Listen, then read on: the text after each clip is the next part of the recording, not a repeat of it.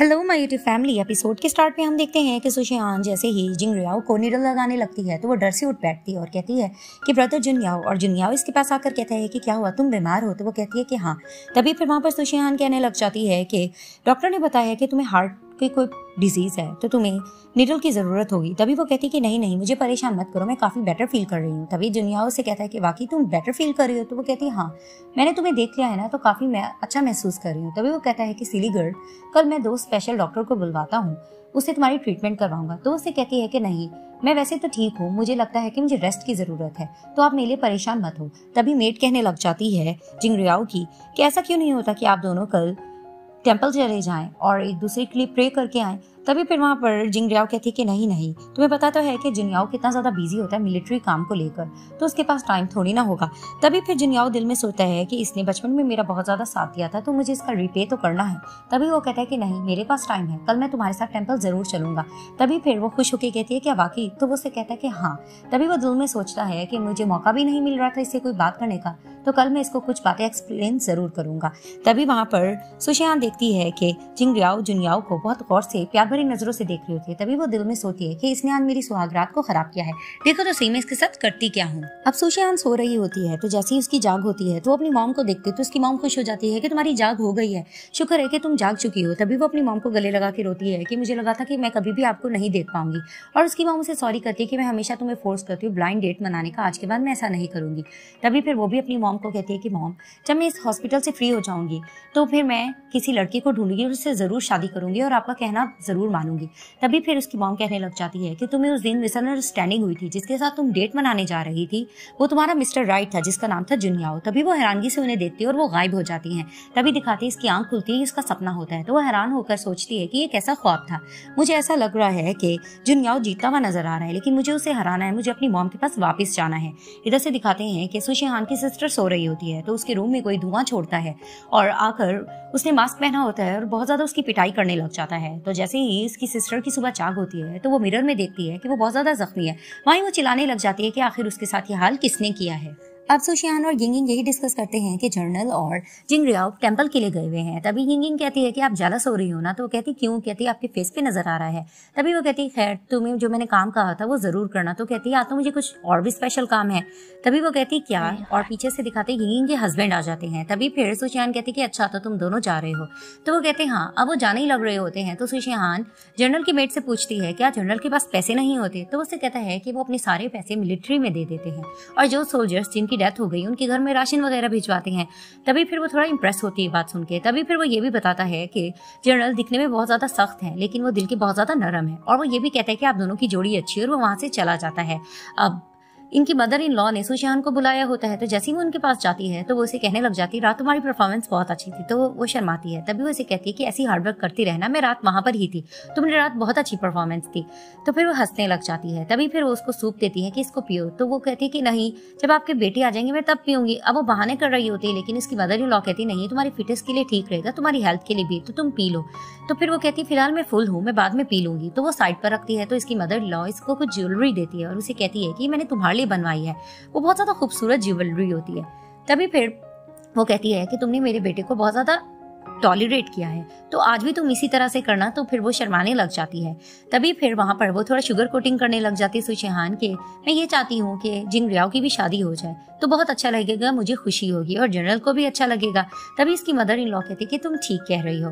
तभी फिर वो दिल में सोती मुझे कितनी और ज़्यादा शुगर कोटिंग करनी पड़ेगी। तो वो कहती है कि मदर इन लॉ ये सूप तो बहुत ही अच्छा है, क्या और होगा? तभी फिर वो कहती है कि हाँ हाँ मेट को, कि तुम और ले आओ। तभी वो दिल में पछताती है कि ये मैंने क्या कह दिया? अब ओल्ड मैडम बाहर जा रही होती है, चक्कर लगाती हैं तो वो देखती हैं कि दो सर्वेंट गॉसिप्स कर रहे होते हैं। रात की बात को लेकर के किस तरह से जिंगरियाओ की तबीयत खराब हुई थी और जुनिया उसकी हेल्प के लिए आए थे और सुशान नीडल लेकर पहुँच गई थी, जैसे वो बहुत होशियार हो। तभी फिर ओल्ड मैडम आके कहती है, तुम लोग किसकी बात करो कि वो होशियार है? तो वो सर्वेंट थोड़ा डर जाते हैं तो ओल्ड मैडम उन्हें डांटने लग जाती है कि मुझे सच सच बताओ, ये र्यूमर्स तुम तक कैसे पहुँचे? तभी फिर वो बताने लग जाते हैं कि हमें जिंगरियाओ की मेड जियाशु से पता चला है। तभी फिर ओल्ड मैडम कहती है कि तुम सारे सर्वेंट मेरे पैलेस में जमा हो जाओ, मैं खुद ही इस चीज़ को इन्वेस्टिगेट इन्वेस्टिगेट करूँगी। दूसरी तरफ़ दिखाते हैं कि यिंग यिंग सुशियान के साथ बाहर जा रही होती है और सुशियान ने नकली मूछ लगाई होती है और वो ये बताने लग जाती है कि मेरा सपना है कि मैं एक बड़ा रेस्टोरेंट खोलूँ। तभी यिंग यिंग कहती है, आप घर रहो, आपको बाहर जाने की क्या ज़रूरत है? तभी वो कहती है कि मेरा मैन लोगों के लिए इतना कुछ करता है तो मैं भी चाहती हूँ कि मैं भी पैसे इकट्ठे करूँ, मैं भी लोगों के लिए बहुत कुछ करूँ। तभी फिर वो ये प्लान करते हुए उसके साथ बाहर चली जाती है। इधर से ओल्ड मैडम इन्वेस्टिगेट कर चुकी होती है और सर्वेंट्स वगैरह यही बताते हैं कि हमें सब कुछ चिंगरियाओ की सर्वेंट से पता चला है। तभी ओल्ड मैडम दिल में सोचने लग जाती है कि मुझे क्यों ऐसा लग रहा है इन सबके पीछे जिंगरियाओ का यह हाथ है। क्योंकि वो फीलिंग रखती है मेरे बेटे के लिए। अगर उसने हमारी फैमिली में शादी कर ली तो मेरे लिए बहुत ज़्यादा प्रॉब्लम हो जाएगी। तभी फिर वो अपनी मेट को कहने लग जाती है कि जनरल को फ़ौरन कहो कि यहाँ पर आए। तो उसकी मेट कहती है कि वो तो जिंगरियाओ को कंपनी देने के लिए गए हुए हैं। तभी फिर ओल्ड मैडम कहती है कि मेरा ऑर्डर है, उसको बुलाओ, क्योंकि हमने कुछ मीटिंग करनी है। तो वो कहती है ओके अब जिंगलियाओ जिनयाओ के साथ बाहर घूम फिर रही होती है तो वो कुछ फ्लॉर्स देखकर कहती है, ब्रदर जिनयाओ देखो ये कितने खूबसूरत हैं।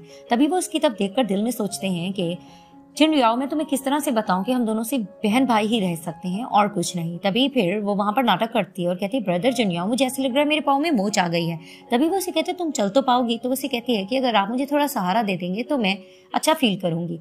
तभी फिर वो नाटक करके उनका बाजू पकड़ के चलने लग रही होती है और थोड़ा हैप्पी होती है। तभी दिखाते हैं कि जनियाओ का सर्वेंट आगे उन्हें बताने लग जाता है कि मैडम का ऑर्डर आया है, वो आपको बुला रही हैं, कुछ मीटिंग्स करनी है। तभी फिर वो मेट को कहते हैं कि अपनी मैडम का ख्याल रखना और वहाँ पर ही वो जिंगरियाओ को कहते हैं कि हम दोबारा से जब मिलेंगे तो हम बात करेंगे। फ़िलहाल मैं जा रहा हूँ। और वो मेट को कहते हैं कि इन दोनों को मेंशन पहुँचा देना और वो वहाँ से चले जाते हैं। अब वहाँ पर ही प्लानिंग करने लग जाती है जिंगरियाओ कि जो भी कुछ हो, फ़िलहाल तो ये ऑर्डर मानने जा रहा है, लेकिन इसको तो मैं हासिल करके रहूँगी। दूसरी तरफ़ से दिखाते हैं कि सुशिहान और यिंग यिंग एक बंदे से मिलती हैं और वो क्योंकि शॉप लेना चाह रहे होते रेस्टोरेंट के लिए तो वो बंदा इनको शॉप्स दिखाता है। तो आखिर इनको एक शॉप पसंद आती है जिसमें वो एंटर करते हैं। वहाँ पर ही वो उस बंदे से लेन देन की बात भी करती है। तो वो इनको महँगे दाम बता रहा होता है। अब उससे ये ये बहस कर रही होती है तो एक पीछे से एक और शख्स आके खड़ा होता है और वो कहने लग जाता है कि तुम इसको क्यों ये शॉप दे रहे हो? जबकि ये शॉप तो मैंने लेनी थी। तभी फिर वो कहता है कि मैं तुम्हें और ज़्यादा पैसे दूँगा। अब यही सारी बहस चल रही होती है और वहाँ पर ही सुशान कहती है कि अच्छा तुम इस बच्चे को इस शॉप देना चाह रहे हो। तभी फिर वो मालिक कहता है कि इस तरह से मत कहें। ये एक बहुत बड़े मिनिस्टर का बेटा है। तभी फिर वो कहती है कि ठीक है, हम कोई और शॉप देख लेते हैं। अब वो वहाँ से जाने ही लग रहे होते हैं तो वो शख्स कहता है कि तुम जैसे गरीब लोगों को की औकात नहीं है ना हमसे लड़ने की। तो ठीक है, अगर लड़ना चाहते हो तो मेरे सामने लड़ो और वहाँ पर ही वो यंगिंग और सुशियान को रोक लेता है। अब ओल्ड मैडम जिंग रियाओ और उसकी सर्वेंट को बुलाती हैं तो वो दोनों जैसे सामने आती हैं तो ओल्ड मैडम कहती है कि जिंगरियाओ तुम ठीक हो ना? तुम्हारे पाँव में मोच थी तो वो कहती, मैं बिल्कुल फ़िलहाल ठीक हूँ। तभी फिर वो उसकी सर्वेंट को डांटने लग जाती है कि, तुम इनकी हिफाजत नहीं कर पाई, तुम किस्ता की सर्वेंट हो? तभी फिर वो उसकी सर्वेंट सॉरी करती है तो उसे कहती है, अब तुम्हें अपनी गलती का एहसास हो गया है तो तुम्हें पनिशमेंट तो दी जाएगी, तुमने लापरवाही की है। तभी उसकी मेड को ले के जाते हैं पनिशमेंट देने के लिए वहाँ पर ही जिंगराव थोड़ी अपसेट हो जाती है। तभी फिर ओल्ड मैडम उसे अपने पास बुलाती हैं तो वो उनके पास जाकर बैठती है तो उसे कहती, तुम्हें बुरा तो नहीं लगाना तो कहती, नहीं ओल्ड मैडम आप ऐसे मत कहें।